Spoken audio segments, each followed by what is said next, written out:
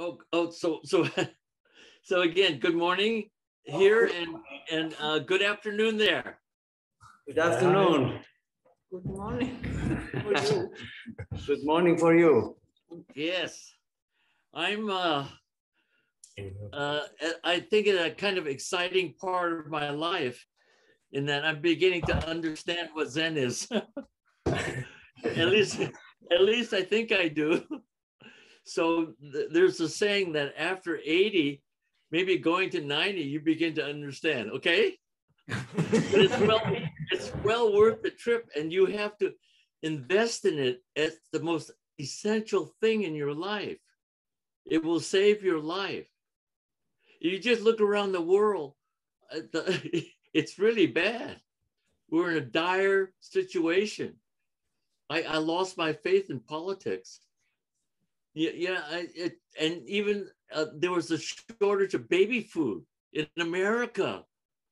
The affluency of America, they, they, the the company Gerber Gerber's baby food. What did people do before Gerber's baby food came out? We fed our children mouth to mouth. We chewed it, and sometimes I swallowed it because it tastes so good. And then we transmitted it mouth to mouth. Don't you remember? That's how we did it before technology.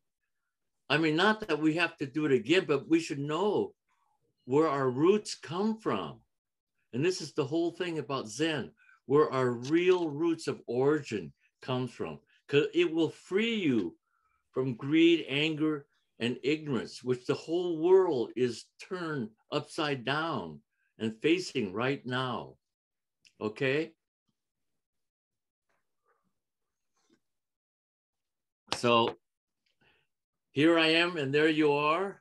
It's good to see Skalholt. Uh, yeah, brings back many memories.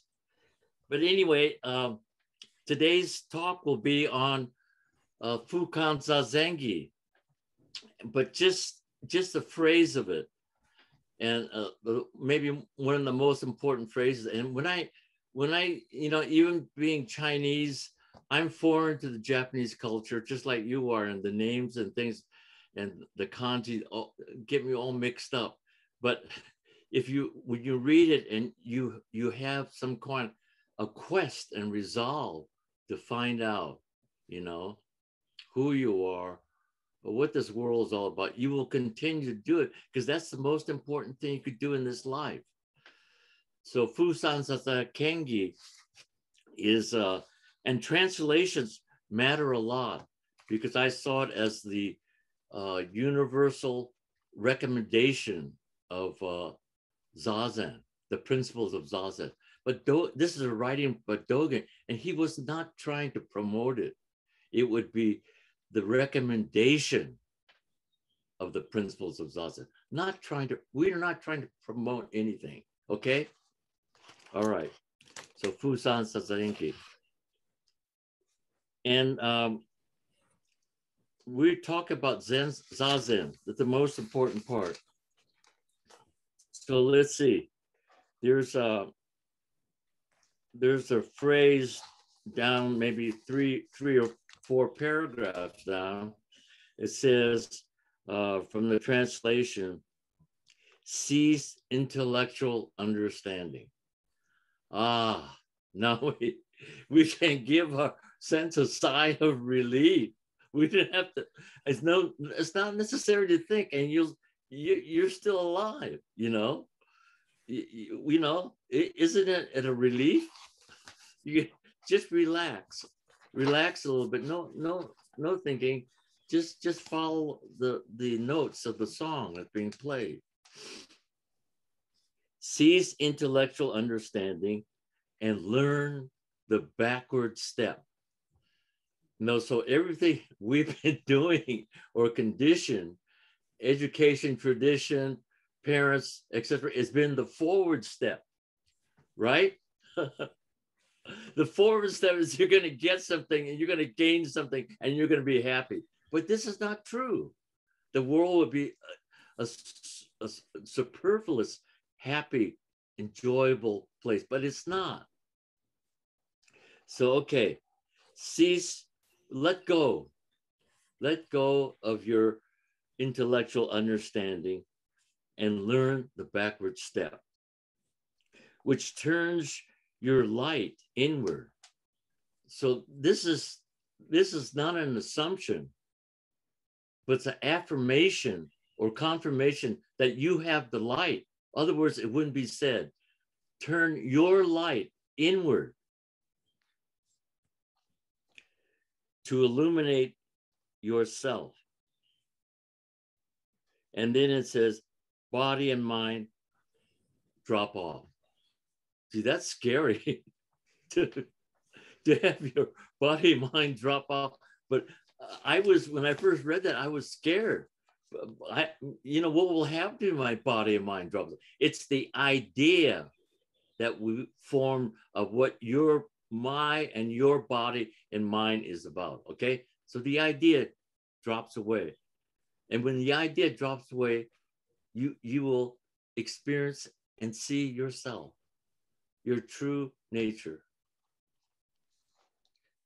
As, well, as, as the translator keeps going, uh, body and mind will drop away of, the, of themselves. You don't have to do anything. All you do is turn your light inward. You don't try to make anything. We're not trying to create anything. And the body and mind will naturally drop away of themselves. It's spontaneous because your, your presence and awareness is there. So naturally, it the idea of the body and mind drops off. Isn't isn't that you everyone follow me? Huh? Is it easy to follow? Okay. Yeah. the, the, the difficult part is to do it, but we have no choice but to do it. And some, some something within yourself, that precious essential self, will do it for you because you are taking the backward step and because you're ceasing from promoting that intellectual understanding in pursuit, wanting, and escaping from things, right? so you know zazen is a very interesting thing because we're not wanting in fact uh, well like i said before the wanting and gaining and getting and pushing away are things what we've been taught but in zazen especially in sesshin you are uh, participating in the action or the activity of loss you're choosing it Now, who, who would want to choose loss? But Zen is about loss because the more you lose, the more you gain. so it's the opposite. We try to gain, but we get less and less. But when you lose everything, especially your intellectual ideas and thinking, then you gain everything. It's it's interesting. This is the backward step, okay? And of course, your original face will naturally manifest of itself. It means you have it. And it says, if you wish to attain suchness, you should practice suchness without delay. So uh, the time Dogen wrote this, it was a reformation in uh, Japan. There were many new religions that, that came from China that people want to expose. So he was very careful in, uh, uh, he wasn't really welcome either because he was the young kid on the block. And, and he had a different kind of meditation that, that Japan did not have before. And there were other traditions. So, and he was not competing. We don't, we do not compete with anyone. That's foolish. That's our intellectual thinking.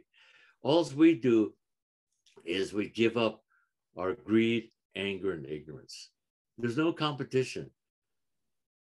Isn't that something? So he was not competing, but they were actually even after him because he was the new kid on the block with new ideas.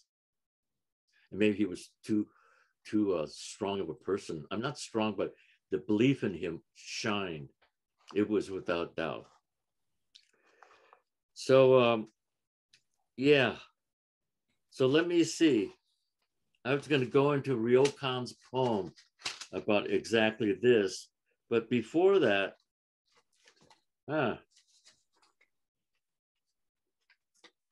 there's uh, the backward step.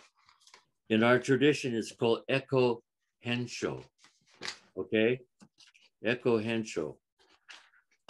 And uh,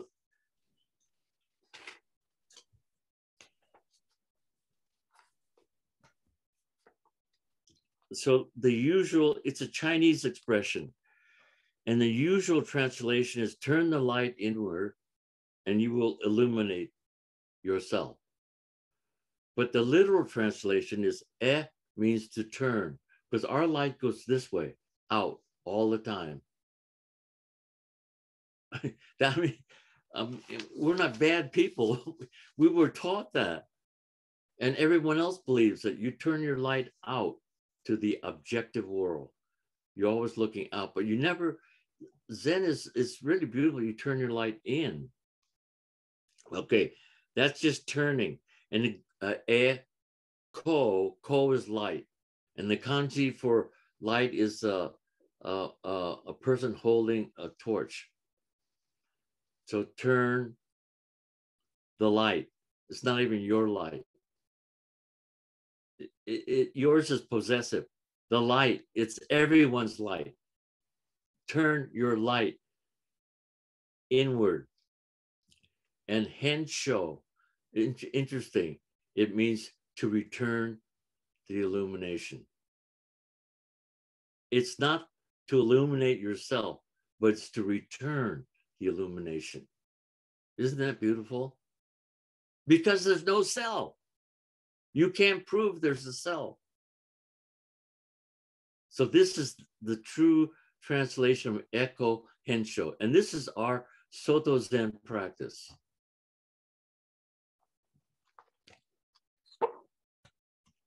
And this poem is uh, really beautiful. And Ryokan is, uh, he was a, a very unusual uh, Zen monk.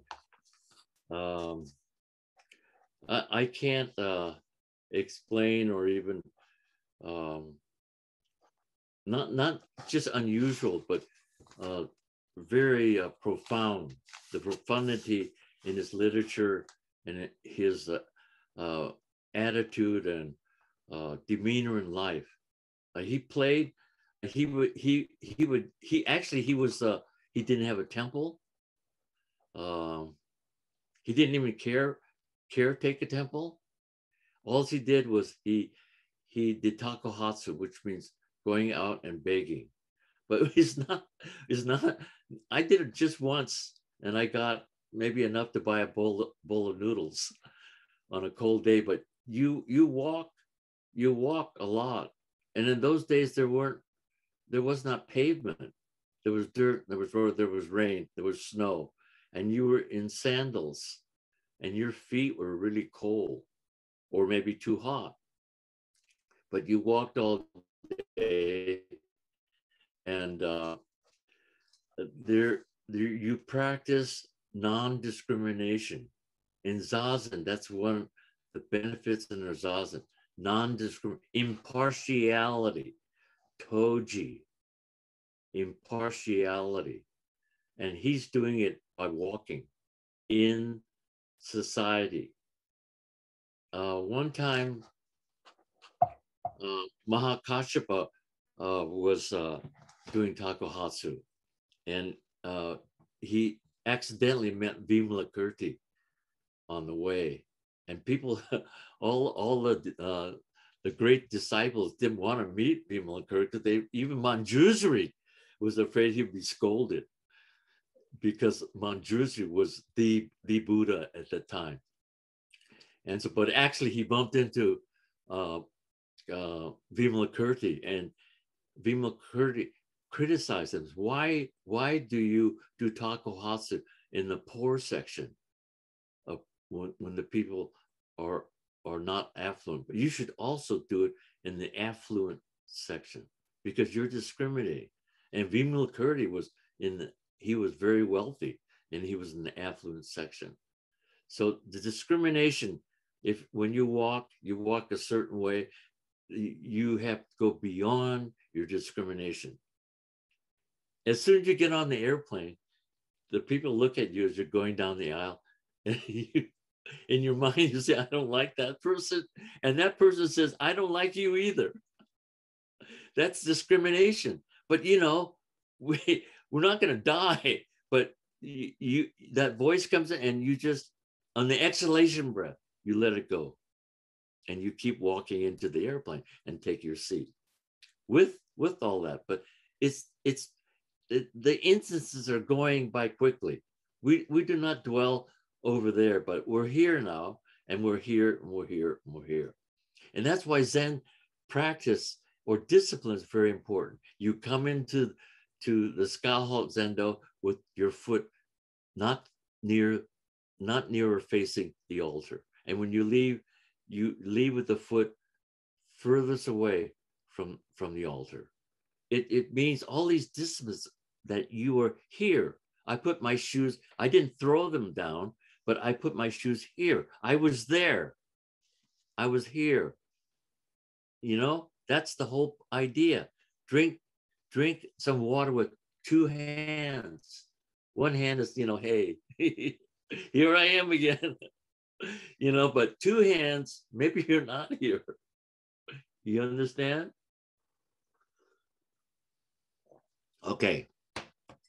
So here we are, the poem.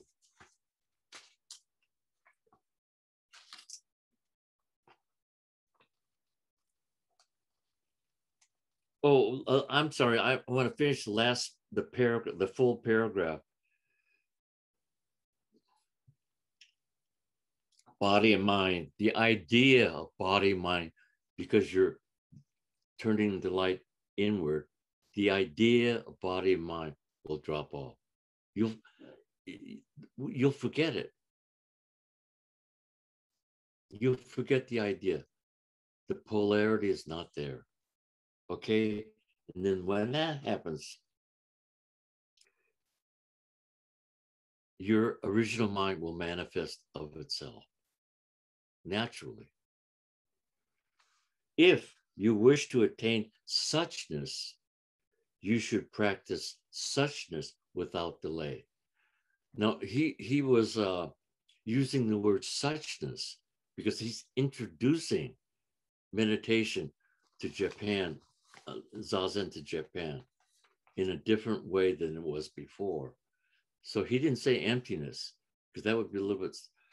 People may be uh, maybe identify with nihilism, which is actually nothing. But he said suchness. And uh, emptiness is not void. It's it's empty but suffused with knowing is not just nothing.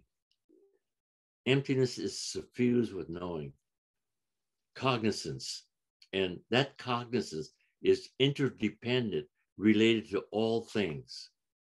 So it's not nihilism, not nothing. Okay? Okay. Any questions so far? Gee, well, this half is this half the time already? Yeah, I think so. Can you hear us? Maybe I have to come back, huh? I, I would like to come back, okay, for the second. Well, for the second talk to finish this up. Okay, but here's here's the poem. Oh, Ryokan. So so here you are walking, and uh, you you come in. Well, I remember walking one time. I came.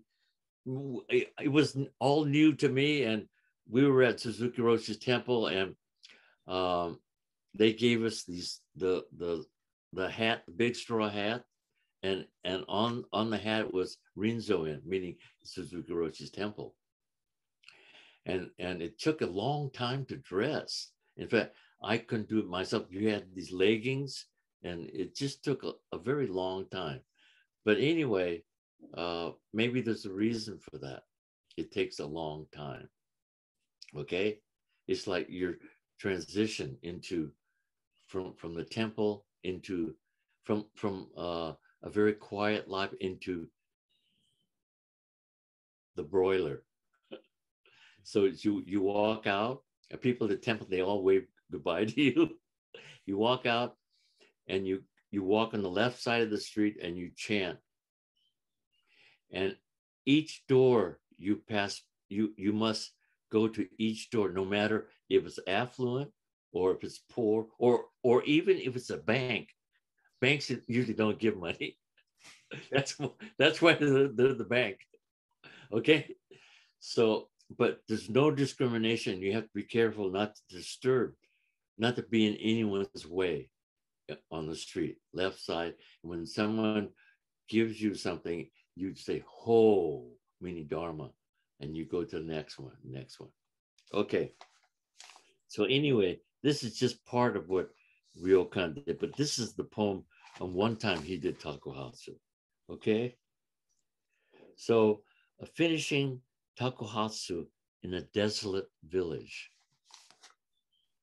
I return to my hermitage with its green mossy rock. As the evening sun sets behind the western ridge, the pale moon is reflected in the stream before my hut. I wash my feet and ascend the rock, burn incense and sit peacefully in Zazen. Also, a child of Buddha Sangha. How can I spend years passing in vain? That's his poem. Really simple. Very simple, but yet so profound. And this this demonstrates Eko Hensho. So Eko Hensho is uh, three three parts that happens in the universe, and that universe uh-huh. includes our zazen. All all this is referring to your zazen to my zazen. Okay, there's three parts to into, and so when the sun sets, like like in Sesshin, your sun is setting. You're becoming exhausted. Your thoughts, your body, everything is becoming exhausted. In fact, it's like when the sun sets in the west, uh, as it sets, it illuminates. Uh, it's it's not a sunset. We're not talking about sunset. We're talking about when the sun has set, has set, there's a, an illumination that comes out from the sun that illuminates the entire universe. You've seen this before, right? And and this is where artists and uh, photographers uh, go and take pictures because the light is a certain way. But this is not just about beauty. It's very beautiful and wondrous point in time. But the sun has to set before you see this. Like we do in, in Sesshin or in Zazen. The sun, the self, the discriminating mind is setting. And therefore, this beautiful light comes out. And the beauty is not just beauty itself, but it's about the perfection of your zazen is being completed. But you don't know it. And that's why you like to sit because you don't know it because it's not an object. Isn't that something? That's why people like to sit. But you keep on sitting, but some, but you're yet to realize it. And that's why you need a t-shirt, right? yes. Uh, that's that was it. Okay. Okay. So that's one. Uh, that's one explanation of Eko Hensho and as it relates to the universe, to the principles of the universe. uh, sun rises in the east, sunsets in the west. And it's just the opposite, but it's the same thing. Before the sunrise, it's, it's, it's called dawn. That's interesting. It, dawn means awakening. Before we the sun, but actually the sun, the sun is actually still, and it's the earth that's going around. So, so the sun remains uninterrupted as the earth, as we're we're spinning around. So we say the sun rises, the sun sets, but it's just there. But that's from our perspective. The sun does not move, but it hasn't yet arisen yet. It hasn't yet dawned. The sun rises in the east, the sun sets in the west. It's quite a beautiful analogy, don't you think? Yeah. Yes? Yes. Okay. Yeah, it's really uh, bright and beautiful. And and you know when you when this is being uh, said, you you begin to wonder how many instances like this in our world, our real world of impermanency, does this happen? But we're not there. We're not present to witness it, or not to witness it, but to experience it. And at the end of end of his poem, he says, "How how could I live this life in vain?" because these instances are happening instant after it's continuous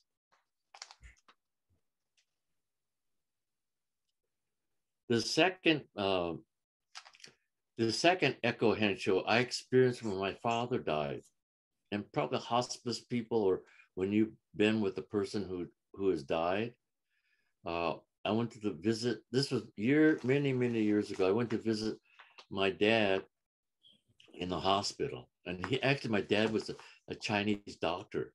So I could imagine uh, how uh, unhappy of a situation he was in because he's Chinese medicine. Now he's in, in a Western hospital. Uh, but at that time, when I visited him with my other brothers, he looked like he could have gotten up out of bed. He was bright and clear, vividly clear. It's true, isn't it, when you visit people who are going to die? So that that explains it's the same life force that's innately within ourselves that comes out at when our going to die also means your ego is going down the sun is going down it happens like that Is isn't that interesting? It's interesting and beautiful. So, as practitioners, we have an additional um, source when that when we're dying on our exhalation breath, we're returning to suchness or emptiness. We're practicing it every time we exhale. Your last breath is on the exhalation, but we know where we're going. Okay. So so I I that that kind of helped me understand when my father died what happened. And of course the second one is um uh, the third one is like on the third day of sesshin. I always forget to mention that that uh uh in a traditional sesshin, seven day sesshin, on the third day, and and if you have a three day sesshin, maybe it's on this on the uh, first or second day, but you can just adjust it. And even if you have a one day sesshin, you can adjust it. But you get what I'm trying to say on the third day, because your discriminating mind and your body are, are, have gone through a kind of hell, then something you get second wind. That means that life force the Buddha nature, the, the life force of the Buddha nature is apparently there. It's really there. Just that we have to allow it to open of itself. Okay? So that's that I'm very happy to uh, begin to understand what Zen is and uh, it, it's all within yourself and and and your understanding and your practice of continuing it. Uh, one, uh, I think Tendo Nyojo Dogen's teacher said that it's not the zazen so much, but it's the resolve, the commitment not to give up zazen. And look at you, know, I'm I'm over 80, I'm going to 90 now, but I can't sit cross-legged anymore. So does that mean that people over 60 can't sit anymore?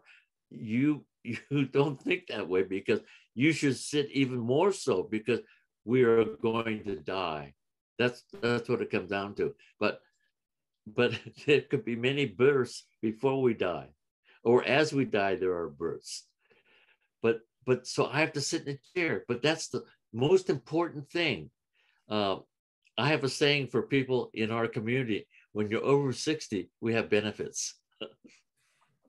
we can sit in a chair, and we don't have to follow that horrendous schedule that that you young guys have to do. Okay so um, what I'm saying is, you get old, that's even more important to sit.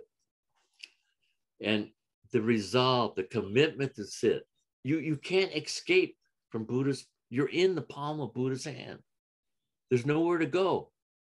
You think you're going somewhere, but there's nowhere to go because we're all in the palm of Buddha's hand. Okay, it's 10:01 from here. So so like uh we have time for some questions, huh? We, we have actually time. If you if you want, we have uh, more time. Uh oh, I'm scared. okay, but it's it's up to you, of course. But uh, no, no, I I'll be happy to be with you. It doesn't have to be exactly half an hour. So if or I'm afraid to be with you. Okay, please. Uh, and and when you ask a question, say your name, and so I can see what your face looks like. Okay. Thank you.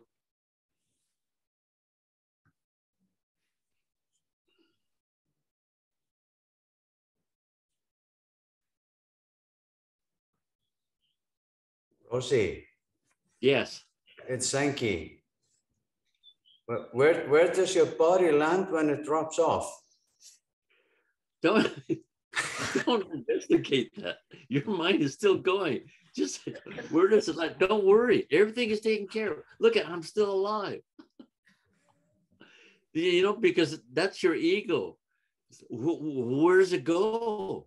You know, who knows where it goes? It doesn't matter where it goes. But but you know, it will do, it will keep on asking you questions like that. It's job, it's attribute, your ego, your small self is to imprison you, it's to bond you, it's to fool you. You, you know, even myself over 80, when I get up in the morning, I, I, I find myself in a hurry to get to zazen. And I said, hey, you know, this is not good. And I bet you find yourself the same way. You don't end up feeling the, the texture in your clothing or when you put on something. It feels good. I'm, I'm sure you did. So I, I have to practice more. That's what practice is. Not to be in a hurry. Or if you're in a hurry, know that you're in a hurry and be in a hurry. But when you don't know it, that's the worst. That that's the perfection of practice, not not like someone just just goes right through everything like per- perfection. But the perfection includes the imperfection. We begin recognizing our own imperfection.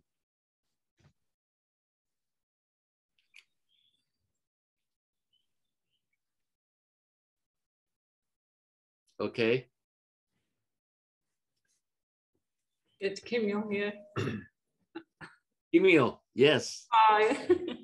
Hi it's always an inspiration and encouragement to hear you talk and especially to hear you and to feel your strength and heter det nu? And yeah. and, and Yeah, encouragement. How to, you're always ready to continue. Yeah. I and yeah, I'm surprised. I'm I'm I feel like I'm stronger than I was when I was 30 or 40. oh, yeah, yeah. And your commitment to zazen is really an inspiration to me during the years, and you never give up. Thank you so much, Roshi. yeah. I'm So so the in, the inspiration and encouragement is for you to do, do the same for you and the whole universe. That's what we do.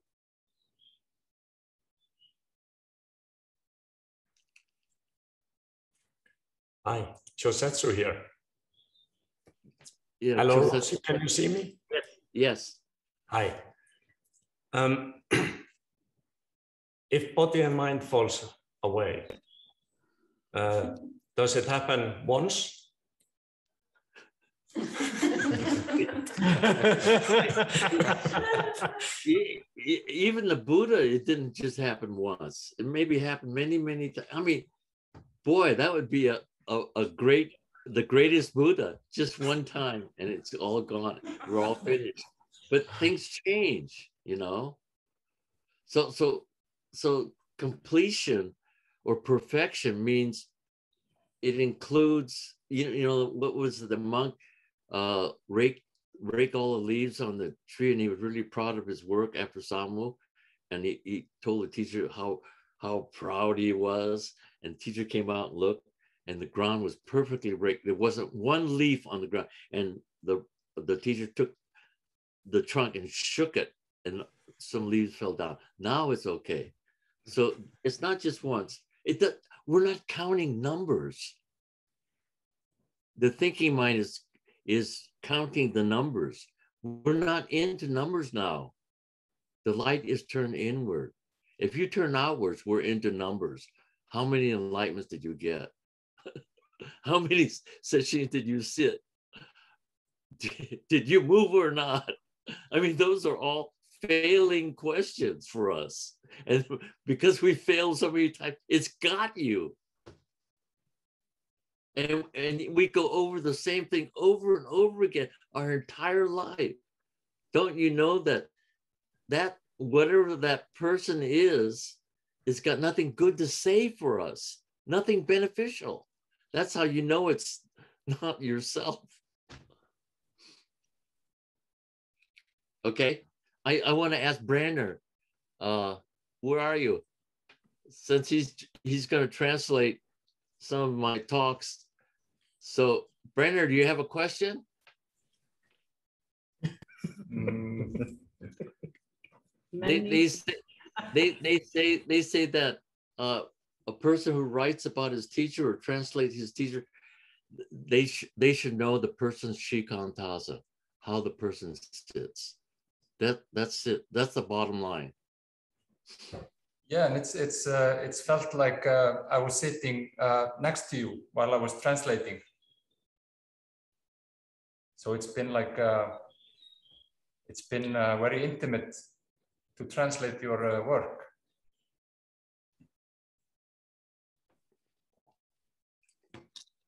We have a, in Icelandic, it's uh, we say si- sitja við fótskör meistarans. It's uh, sitting on the on your master's uh, like bed. I think. Yeah, yeah. Yeah. So I have it's a many questions from the from the translation, but uh, right now I'm kind of empty. Which may be a good. Yeah.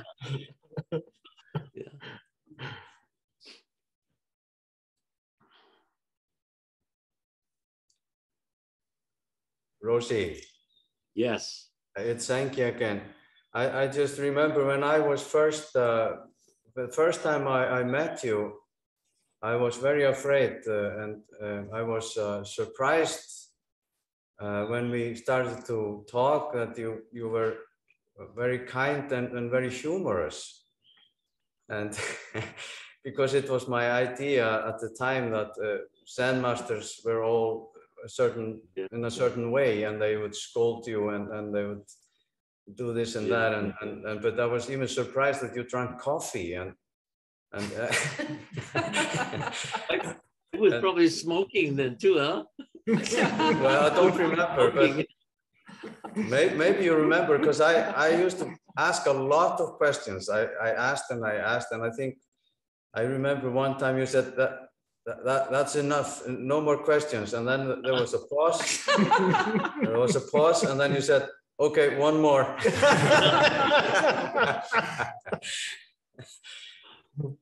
Because you said I was asking questions for the, the others too, that, you know, Yeah.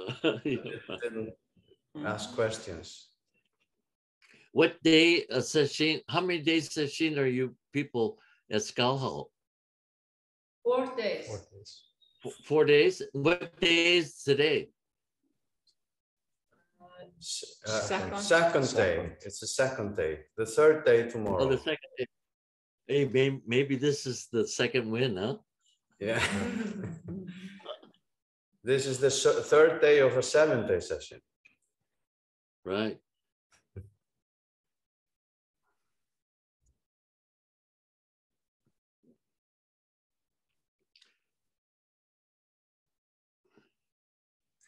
Yeah, When you I, sit, can, yeah, go ahead. can I ask another question? Yes, When you sit zazen, and you sit and you sit and you sit, and um, the light that should be shining inward seems to be out, seems to be no light. How how can you just turn it on? well, it, it's just that you have to, you have to let the sun set. And, and you can do it by breathing. You, you, you know, the Tanden Kikai breathing, the breath controls the mind, the mind controls the body. These, these are ancient words. So the breathing, Tanden, Tanden Kikai, the Tanden, there's three power spots in the body. One is beneath your navel. That's the Tanden Kikai. Tanden, I think, is two fingers and a half beneath your navel. And the Kikai is two, two, an inch and a half. And that exists right in, in the Tan. Tanden means feel your humanity's field of essence. And Kikai, Ki is uh, uh, spirit, vitality, energy, Kai's ocean. The ocean of vitality exists within your field of essence. This is for humanity. And then another one is here in the chest. Uh, in the West, when we say this area, it means more passion or emotion, but it's it's it's before the passion emotion. And then there's one in the forehead. I remember Suzuki Roshi when he offers incense, he he puts the lit end uh, to his forehead, and by doing that, and he probably uh, um motions the the uh, kanji uh, shin, one, two, three, four, four, five strokes as he does that, and it stimulates this area. Okay, so those are three areas. But in Zazen, we put the emphasis on the Tanden Kikai. And, and you, uh, uh, Yasen Kanna, uh, Hakuin's writing, you can even Google it. You, you should read it. And actually, uh, he was a very, Rinzai, illustrious Zen master. And he, uh, well, he made, he, he uh, made up a story that, oh, oh, he got consumption in those days. So you all these the, the, our past history, these these kids, they were 18, 20, 21, 22. These young monks, they threw themselves into zazen. They didn't eat, they didn't sleep, so they got consumption. The heat went up into their lungs. We call it tuberculosis now. They got it, and a lot of them died. Those were our heroes in the past. It just Zen just didn't come all of a sudden.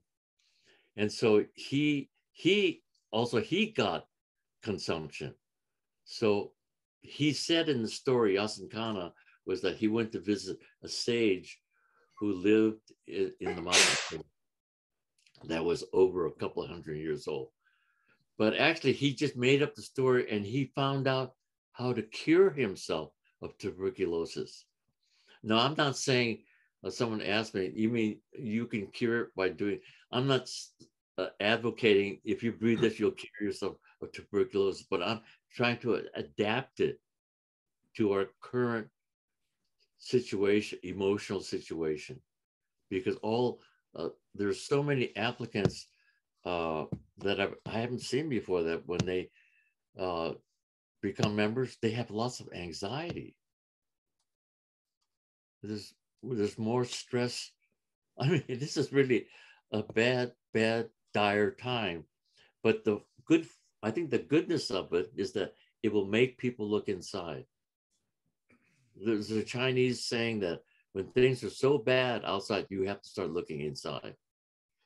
So, so that means also the heat, your heat is going up because you you have no foundation the zazen. You're not settled, so your heat will go up, and by breathing, you will bring it back down. But what is it? Heat, excessive thinking, worry, migraine.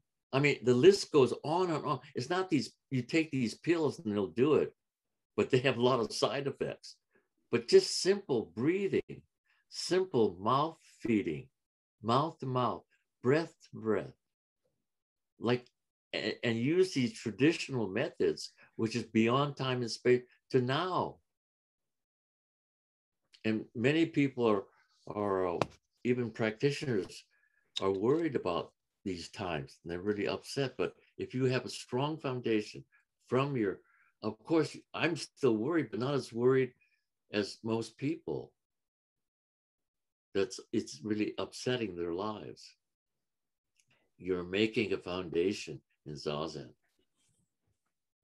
So the breathing, you're you're turning the breathing down. So the old saying was that you from the navel up you keep it cool, not hot. You don't make it hot. Hot makes headaches, worries, migraine. Okay. You keep the energy go down. You keep it warm from the from the navel to your feet. Breathing is very important. And and you know the, that thing about gasho, yeah, I just want to say this to everybody because there's a lot of people there that that maybe don't haven't seen this. But anyway, when you when you gasho, as you at the end of the exhalation,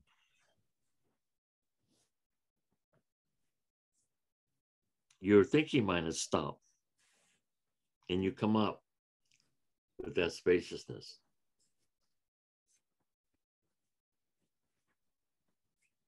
And when you want to concentrate when you're in Gasho, look at your tips of the middle finger. And there's a sense of composure.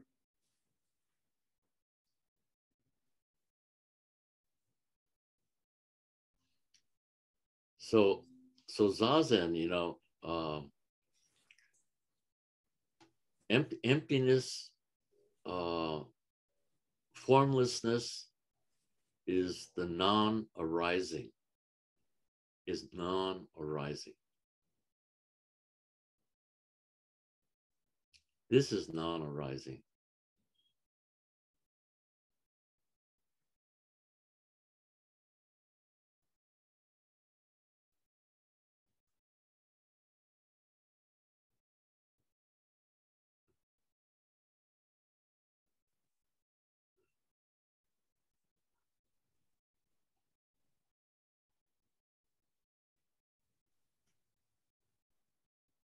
Okay, thank you.